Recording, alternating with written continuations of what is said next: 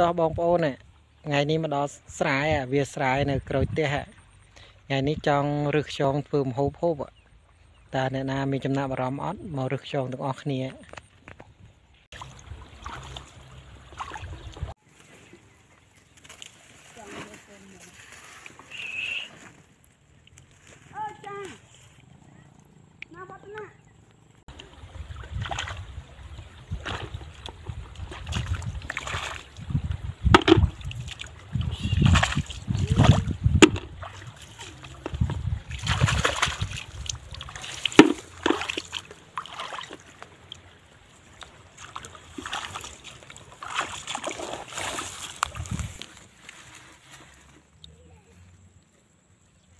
ងស្រែបងប្អូន